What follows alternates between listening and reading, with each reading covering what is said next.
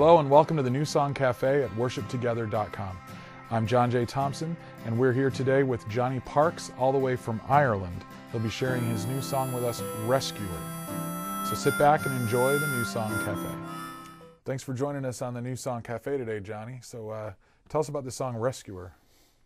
Well, it's a simple little tune. Um, it's one of those songs that was a, a bit of a bedroom song. Um, just started in the bedroom in the house, and uh, and really just came from the guts. It was sort of quite a natural little song to write, and uh, but then I got stuck with it, and like most things in life, when I got stuck, I spoke to my wife, and uh, asked her, "What do you think, Kathy?" And she sort of, you know, had an input to it, and another guy, Nick Herbert, and it's really just a simple song that kind of has a key line that repeats and a nice pre-chorus and chorus, and it's become quite an important song for the band, and um, because of the content of it, we really feel connected to it and what it's about. Awesome. Well, why don't you play a little bit of it for us? Okay.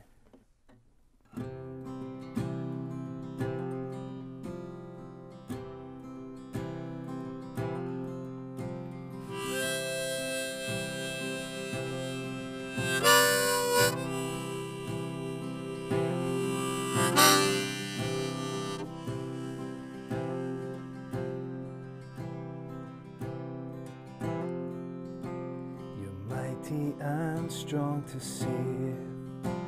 You're mighty and strong to save. You're mighty and strong to save. Rescuer. You're mighty and strong to save.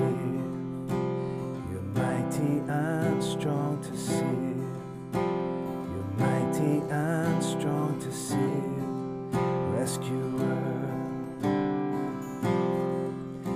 From the heavens you came to the depths of the grave to redeem for your praise, rescuer. Jesus, you overcame death itself for our sake. Let the world now proclaim rescuer. Oh, what a savior, freedom forever. Lift our hands with chains undone. Hearts set no mercy cannot stay silent.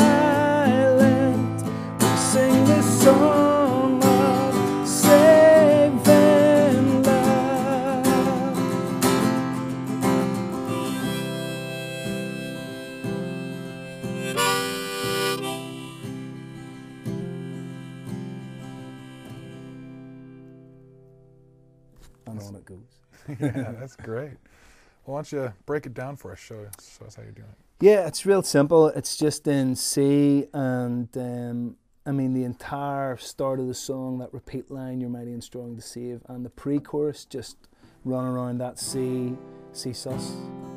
So it's just adding the pinky and on the D string on the third fret, and that just loops around. Um, and then coming into the chorus, I hit an A minor, G on the chorus. Oh, what I say, which is just C, A minor,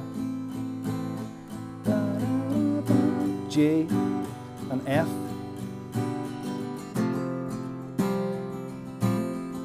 And then repeat that. And that's it. And with the F, I kind of leave the E string open. And Very cool.